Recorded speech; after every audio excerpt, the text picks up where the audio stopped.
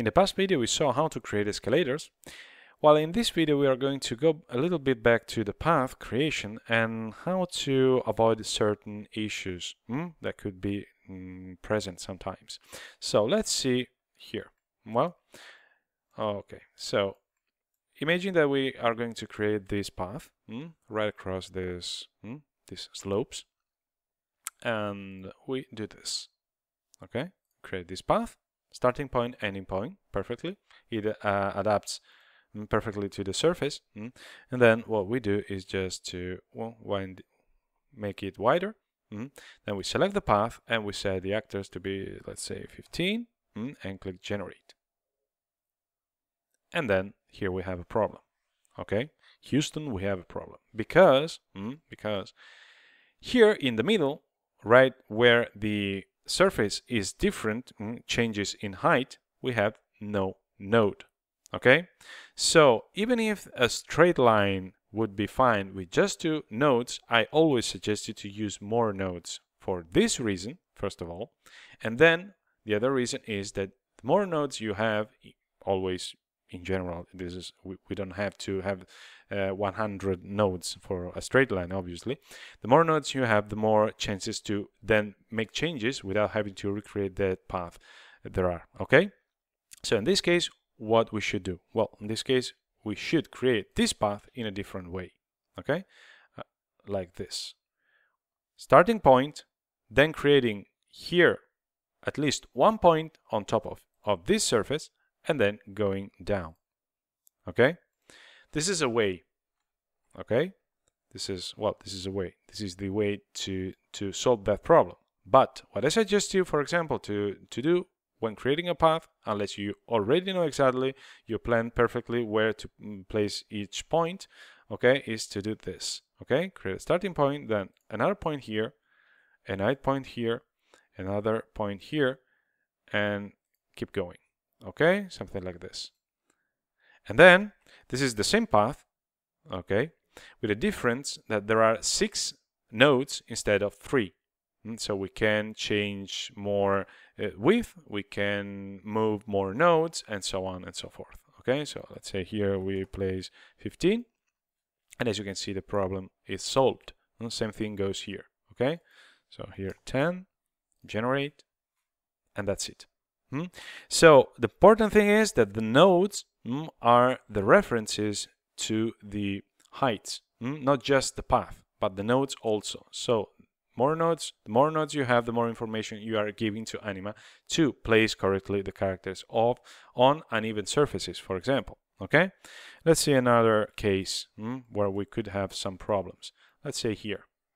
Okay, something like this. Okay. Hmm.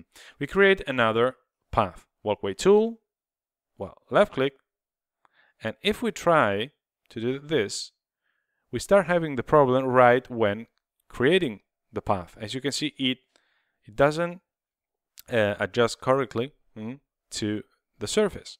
Now, this is the same problem, okay? We need more nodes, in this case for with the stairs. So we should do is just to create one more node here, okay, like this, and then like this okay?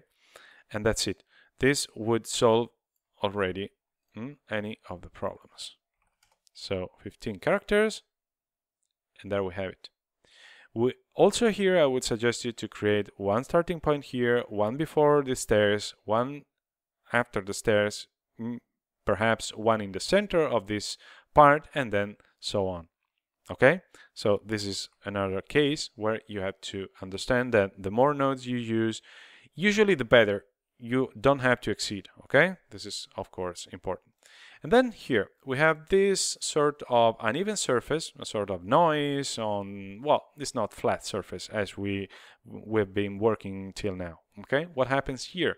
Well here actually doesn't have anything but if you want to help Anima, even here, better to use more nodes. Well, let's try here, for example, like this, like this, like this, like this, like this, and like this, okay? Now, I've avoided to create a, a straight path, okay? Then here what we can do is just to select this and change the path. And the more nodes we have, the more chances to change the path without having to recreate it we have okay we deselect it and then we do this okay? I select this I place it I place here 10 characters generate mm, and spacebar and as you can see they walk perfectly on this uneven surface okay? So this is very very important. So when you have to create a path always think mm, a bit before of where to put nodes and how many more in, in general you want to you want to use okay? The more well actually the better but mm, keep in mind not to overdo it. Then another example just to be just to mm, creating something a bit more interesting is for example this example here okay? Here we have a well a bit a section of a park let's say and I will creating here mm, in this path mm, sort of a running uh, track okay? Or something like that.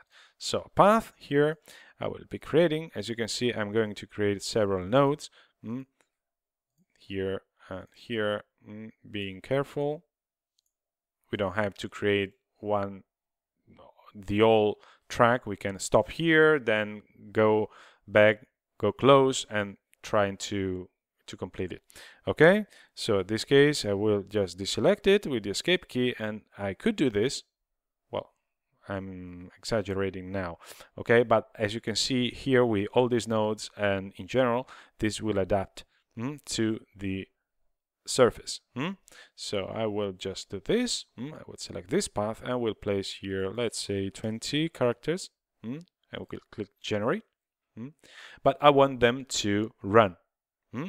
So I want them to run. I could choose to change the speed, but in this case, I will simply hmm, assign the locomotion run category uh, of the motion clips hmm, here in the option motion clip category.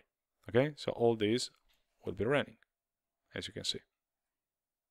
Okay, okay, so this part is for running people, but there I could create here another path to just have a walk and crossing the, the bridge and going on the other side and going coming on this this way. Okay? Same thing goes here. Say that you see now I've been exaggerating here okay but what we can do since we have more nodes is just to adjust this mm, the way we need. For example if these two nodes are too close well no problem. Mm, I can move them and they will adjust perfectly. Okay, so same thing goes here. So the more nodes, I mean, not too many, but enough to being able then to change things. Okay, so same thing goes here. I will just select this and here I will place 15 characters. Hmm. As you can see, I like 15 as a number. Okay, and the last thing is that we can create also crossing. We, I don't have to I have to remember to deselect the path unless uh, if not I will continue the path okay? So like this this this this hmm. as you can see we can create different situation okay? So deselect I will well this a bit more narrow and then generate okay? So we can create different different situations okay? Always taking into account that uneven surfaces is are not a problem in anima.